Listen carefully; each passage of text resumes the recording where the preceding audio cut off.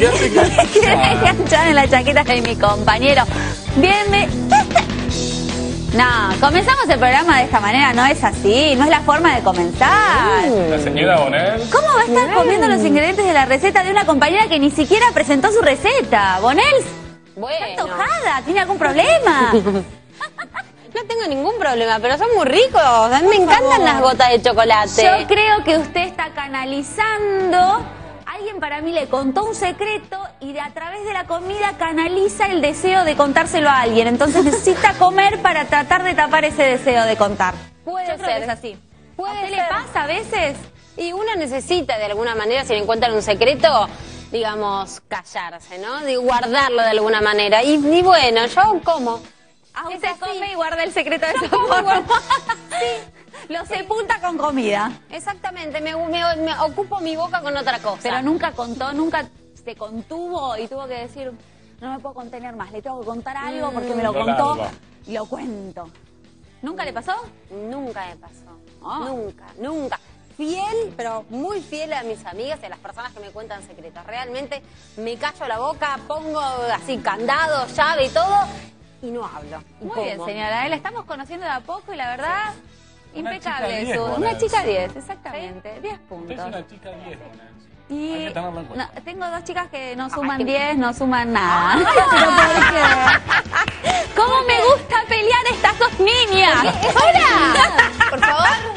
Me encanta pelearlas, pero quiero saber, ¿ustedes qué, guardan secretos o son de Sí, contar? obviamente. Yo por lo menos soy una persona muy confiable. Sí, ¿En yo serio? también. A menos que sea un rumor y bueno. Claro, los rumores es difícil. Es difícil Un chisme es guardarlo. difícil, Claro, es verdad. los chismes. Es difícil. Pero en general somos bastante cuidadosos ¿Sí? con lo que hablamos. Sí. Sí, Sí, ¿no? es que si no, no se Surgen puede peleas. andar contando por ahí cosas que son de otra persona. Pero a una persona ajena, por ejemplo, se lo cuenta una amiga suya cercana y usted se lo tiene que contar a su prima, por lo menos para contárselo a alguien y descargarse. Bueno, Eso puede ser alguna Ah, que ah, eso es de mujer. no, si es algo... Si es triste, si no me angustio yo sola y Claro. no vale. No, no, pero capaz a mi bien. prima ni le interesa lo de mi amiga, Es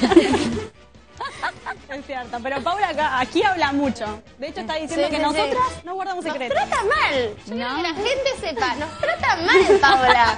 Bueno, ese es otro de tema, ese es otro tema. Hoy estamos hablando de secretos. Mentira, yo soy testigo. Contando La secretos. señorita Polono es la persona más bondadosa de este favor. Usted dice mentira directamente.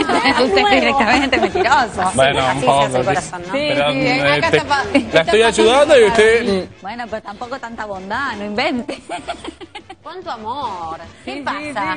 Hay amor en el estudio entonces. Me parece que si, Yolanda como entró recién en este programa este año, me parece que quiere comprarse a la señora Polono de alguna Sí, forma. para O-. ¿O será que está ¿Por qué no? enamorado? ¿De quién? ¿De alguien? ¿De usted? No, ¿De por. Polono? Por favor, soy una persona grande. Mira que-. Mira que no Luciano, puede. Luciano es atento. Soy una persona grande. Mire que no se puede. poner esta música. Voy a contar un secreto que me contó él. Y en realidad dice que yo no, que yo no le gusto, que no soy, ¿cómo me dijo? Que no soy sensual. Me dijo eso. A ver, a ver, Qué me estás metiendo en aprietos. Bruto. Yo lo que dije que podría llegar a ser más sensual. porque Da el porte. ¿Porte de la Polono? Pero por supuesto, por favor. Polono. Una vuelta.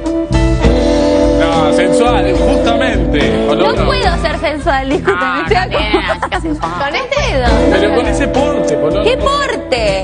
¿Qué porte? Cuando Ahí aporte, va. cuando Mira tenga algo que aportar, voy Como a- esta receta. Como esta receta, exactamente. Sí, la vamos a salvar de esta manera. Vamos a, vamos a cambiar de tema, por favor. Le voy a hacer un adelanto de lo que es mi budín. En este caso es un pastel de oporto con ciruelas. Qué buena combinación. Puede probar, puede probar. Oporto, ciruelas y además tiene nuez. Uh, buenísimo. ¿Le gustó? Bueno, muy Muy interesante. Me gusta que le guste, pero la primera persona que cocina en el día de hoy, igualmente quiero hacer un paréntesis. Mercedes Aguirre, de los secretos no se salva. Así que después del segundo bloque nos va a contar ella a ver si cuenta o no los secretos. Pero ahora, cocina ella. Floppy nos va a cocinar algo muy rico y muy interesante. Bueno, les voy a contar lo que les voy a enseñar a cocinar hoy. ¿Ustedes los han probado? ¿Me ha Yo no sé, pero siempre pruebo sus comidas. ¿Probar otro? Bueno, con un poco de hambre. Sí. Bueno, yo mientras usted prueba y me dice su opinión, voy a contarle a la gente lo que voy a preparar. Son unos bollos con chocolate. ¿Están ricos? Son muy sabrosos. Con chocolate blanco, chocolate negro. Veo que se metió un trozo bastante importante en la boca. Así que bueno, yo les voy a ir a enseñar cómo se preparan estos bollos. Son muy fáciles, son muy parecidos a una masa de brioche. Por eso son muy sabrosos. Ahí los vemos con las chispas de chocolate negro y blanco. Que quedan bien con la forma, que se nota bien, una amiga bien tierna y muy sabrosa. Así que bueno, voy a comenzar con esta receta por el fermento, que va a ser lo primero que vamos a preparar. Para eso aquí tengo levadura, aquí la tenemos, la vamos a desgranar y le vamos a añadir leche que está tibia, un poco de leche y una cucharadita nada más del azúcar total de la receta. ¿sí? Le vamos a agregar y una vez que agregamos estos ingredientes vamos a mezclarlos. Y así lo vamos a dejar fermentar. Entonces lo vamos a reservar y ahora les voy a mostrar un paso que yo ya tengo adelantado, donde tengo el fermento listo. Ahí lo pueden ver. Voy a tapar el anterior, así va fermentando para hacer otra receta. Y bueno, ahora vamos a continuar. Por otro lado tengo harina 4 ceros, a la cual voy a agregar sal, una pizca, el resto del azúcar. Le vamos a agregar eh, los ingredientes secos, ¿sí? Y ahora mezclamos. Mezclamos los ingredientes y en un hueco que realizamos en el centro vamos a añadir. Tengo extracto de malta. Lo vamos a agregar. Así. Es muy pegajoso. Un poco de esencia de vainilla para que le dé más sabor. Huevos, utilizamos dos huevos para esta receta. Y por último vamos a añadir, bueno, el fermento, que ya tenía listo, como les había comentado anteriormente. Lo agregamos. Sí. Y por último, cuando se nos estén incorporando los ingredientes, añadimos la mantequilla, que tiene que estar blanda. Por supuesto, para que se integre bien.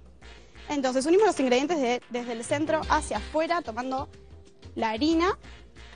Y una vez que se empieza a incorporar, como les conté antes, agregamos la mantequilla. Que tiene que estar muy blanda para que sea fácil incorporarla, si no va a resultar algo complicado esto. Muy bien. Seguimos mezclando. Y cuando tenga el bollo más o menos armado, lo voy eh, a comenzar a amasar, a trabajar mejor en la mesada. Una vez que lo tengo así, lo voy a trabajar en la mesada, como les dije recién. Y ahora sí vamos a amasar mucho porque las masas de brioche son así. Estas masas que, que son muy tiernas, hay que trabajarlas bastante para que queden suaves. Y para integrar, por supuesto, todos los ingredientes. Bueno, amasamos y les cuento que cuando termine de amasarla, la vamos... ¡Ay, qué están haciendo! Pero Eugenia se apropió de mi terminado. ¿Están No. enviándole a todo el canal? No, les estoy convidando acá a las chicas. Usted se tiene que sentir orgullosa que están Ah, convidando a esta delicia. Espero. Claro, tenían que acompañarlo con algo. Sí, próxima. Es cierto. Ah, ahora le traigo más. Aparte, si usted lo hace, no es para que lo comamos. Claro. Pero por todo, supuesto. todo utilísima lo va a comer ahora. Claro. Y la Tengo gente en su 20 casa horas va a de hacer también. Bueno, ustedes mientras ven cómo se Mm, hace... Qué rico. ¿Están ricos? Sí, ¿Les gustaron? Bueno, me alegro. Además, no sé si notaron que los chips de chocolate blanco se funden en la masa. Es verdad. Y quedan espectaculares. Bueno, una vez que nos queda la masa bien integrada, como en este caso, que nos queda un bollo bien blando y tierno, lo vamos a dejar levar.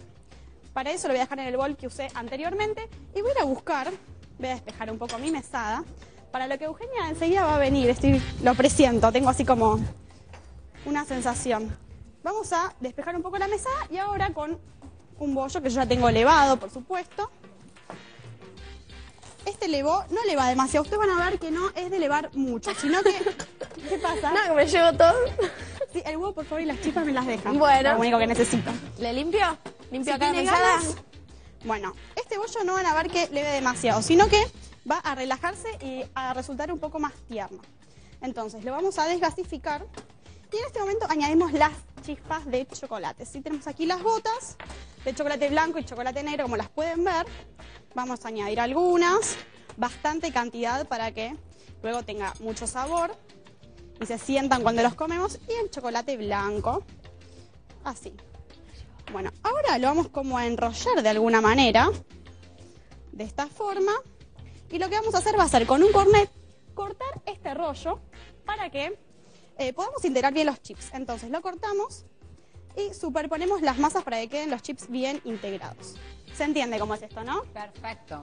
Es para que queden, eh, esto se hace con el fin de que los chips queden en toda la masa y no haya panes sin nada y panes con muchos chips. Entonces repetimos este paso y lo volvemos a superponer. Claro, esto se suele hacer con el pan dulce, para que las frutas queden bien esparcidas y a todos les toque un, un trozo. Bueno, lo amasamos un poco para que se integren bien y ahora en un rollo que vamos a formar, vamos a cortar los bollos ya para hacer, ¿sí? Los, los trozos de esta masa, que sean parejos, así, eh, le van parejo y bueno, después se cocinan de una forma pareja. Para esto les voy a mostrar que aquí ya en una placa comencé a hacer algunos para adelantar este paso y los vamos a comenzar a bollar. De esta manera, apenas nada más, no hace falta ser muy experto para hacerlo. Hacemos otro más y lo vamos a colocar en la placa. Bueno, voy a hacer otro más que aquí tengo. Que sean parejos, por favor. Y así en la cocción todos quedan iguales. Y lo colocamos aquí. Ahora, ¿qué vamos a hacer? Con un huevo, que ya tengo aquí, que está eh, partido, lo vamos a batir ligeramente y con un pincel los vamos a pincelar para que se doren en el horno. En el horno ustedes van a ver que son así este tamaño, dice yo las piezas del terminado. Pero ustedes van a notar que se inflan bastante durante la cocción. Y además se doran, por supuesto. Así que bueno, los voy a llevar al horno fuerte y mientras ustedes van a notar la receta. Bueno, para hacer estos bollos con chips de chocolate blancos y negros, vamos a necesitar levadura fresca 40 gramos, leche 40 centímetros cúbicos, harina 400 gramos, azúcar 125 gramos, sal una pizca, mantequilla 125 gramos, huevos 2, extracto de malta 40 gramos, gotas de chocolate blanco 100 gramos. Y gotas de chocolate amargo 100 gramos. Muy bien. ¿Les gustaron? Me encanta. Veo que les gustaron, bueno, me alegro. No es verdad, tiene mucho sabor a chocolate Y blanco. sí, además como se funde, Porque no se ve, claro, eso es lo que se ve. Y cuando uno lo prueba dice, mmm, qué rico. Tiene chocolate blanco. Tiene chocolate blanco, qué rico que está. Me encanta. Es un- una cosa fácil para Lo voy a hacer en casa. Bueno, espero. Y guardo el secreto. guardo el secreto. ¿Lo guardo el secreto? No, no, No lo sé, guardo no el sé. ¿Usted, Eugenia, se va a terminar llevando todo? Yo sí, me parece que me voy a llevar estos. Esta ¿Le cuento bandeja algo? es para mí. ¿Qué sucedió? A ver. Es un secreto. Vendió los panes. No. ¿Caros? Ah, ¿usted quiere un porcentaje? Y por supuesto. No, el no. 60% Somos la, la panadera ella. de estos. Bueno, después la arreglamos. Bueno, después lo arreglan. Fuera de cámara mejor. Fuera de cámara. Bueno, no se peleen. Si se pelean, yo después les cuento.